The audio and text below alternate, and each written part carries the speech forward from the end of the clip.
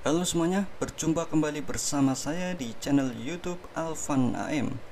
Pada kesempatan kali ini saya akan kembali membagikan sebuah tutorial.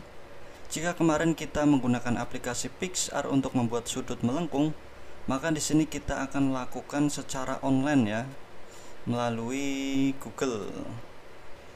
Jadi di sini kita tidak perlu menginstal aplikasi tambahan di Play Store ya untuk membuat sudut melengkung pada foto kita. Nah, seperti apa langkah-langkahnya? Silahkan kalian simak berikut ini. Dan karena ini online, tentunya kita membutuhkan bantuan aplikasi browser yang sudah terinstall di HP kita. Di sini saya menggunakan aplikasi browser Google Chrome. Kita buka Google Chrome. Selanjutnya pada pencarian ya, ini kita tuliskan img 2 go. Nah ini dia. Kemudian kita klik pada situsnya ini img2go.com ketika kita sudah masuk di situsnya maka di sini kita pilih foto editor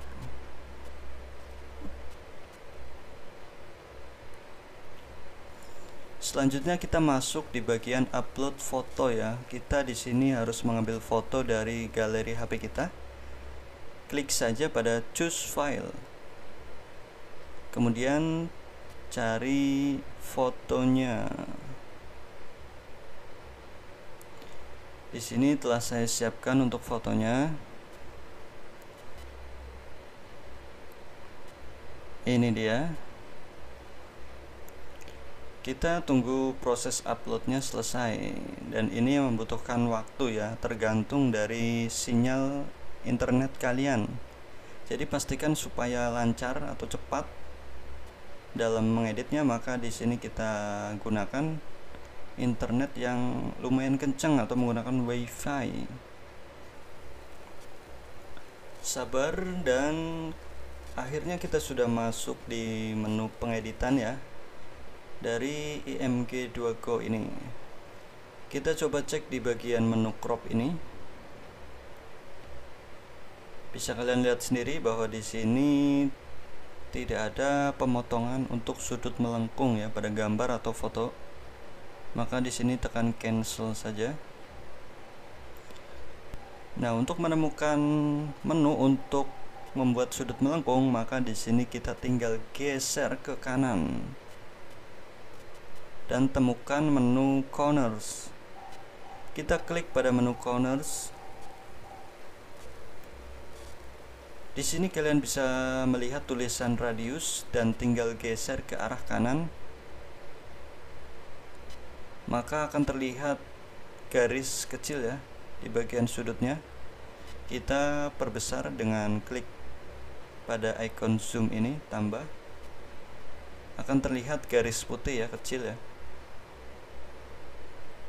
Nah, kita atur untuk melengkungnya itu ya, seberapa besar ataupun seberapa melengkungnya. Jika sudah, kita tinggal tekan apply. Nah, sudah jadi jadi seperti ini ya nantinya ya. Untuk sudutnya, jadi akan terlihat melengkung. Nah, jika kita gunakan di bagian area sekitar foto yang berwarna putih maka otomatis akan terlihat melengkung ya. Nah jadi di sini selanjutnya kita tinggal tekan pada save as dan pilih save untuk menyimpan ke galeri HP kita. Dan sudah selesai ini ya. Di sini kita tinggal tunggu prosesnya sampai selesai dan nanti akan langsung download secara otomatis ya Nah selanjutnya jika tidak langsung mendownload maka kita bisa tekan pada tombol download ya.